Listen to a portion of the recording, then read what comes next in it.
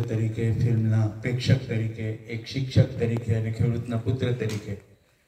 મારે એટલું જ કહેવું છે કે આંસુ વ્યર્થ ન જવા જોઈએ. દિવા સ્વપ્ન જોવાની જે વાત તેમના છેલ્લા શોર્ટમાં કહેવાય છે કે આપણે બધા આવું સ્વપ્ન જોઈએ. મારી દ્રષ્ટિએ ગીજુભાઈ બધેકાની આ શ્રેષ્ઠ શ્રદ્ધાંજલિ હતી. શરીરને સ્વસ્થ રાખવા સારો ખોરાક જોઈએ, બધાને સ્વીકૃત હોવા છતાં ઘણું ઝેર ખવાઈ રહ્યું છે. એમ થાય છે કે ઘણું ઝેર નાખનાર કેમ આટલું બધું નાખે છે?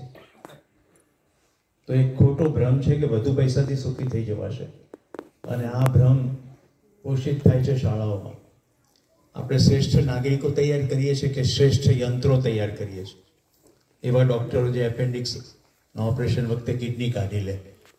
અને એવા સિવિલ એન્જિનિયરો કે બ્રિજ અને રોડ બનાવતી વખતે સિમેન્ટ અને ડામર કાઢી લે. શિક્ષણમાં શું પાયાની ભૂલ થાય છે? મારી દ્રષ્ટિએ માનવીય સંબંધો ઉપર જ્યાં સુધી શિક્ષણમાં કન્ટ્રીબ્યુશનની વાત નહીં આવે, ત્યાં સુધી આવી ઘટનાઓ ઘટશે. આપણે જુદા જુદા ક્ષેત્રોને ક્યાંક ને ક્યાંક નેતૃત્વ પૂરું પાડનારા લોકો આજે ભેગા થયા છીએ. જે ક્ષેત્રમાં છીએ એ ક્ષેત્રમાં આ વાતનો પ્રસાર પ્રચાર થાય. તો ભેગા મળીને જરૂર કરી શકીશું. આજે હું થોડાક અધિકારીઓને પણ અહીંયા મળ્યો.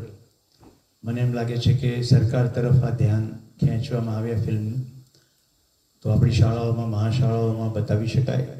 ધાર્મિક સંસ્થાઓમાં પણ આવી ફિલ્મ બતાવી જોઈએ.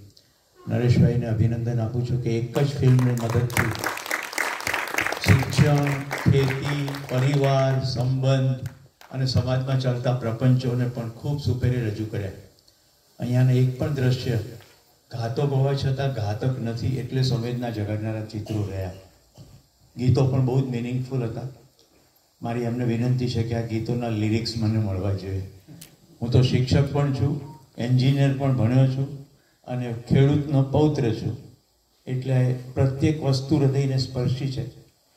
તમને પણ સ્પર્શી હશે. એ આગળ બધાને સ્પર્શે એવો પ્રયત્ન કરજો. ધન્યવાદ. નમસ્તે.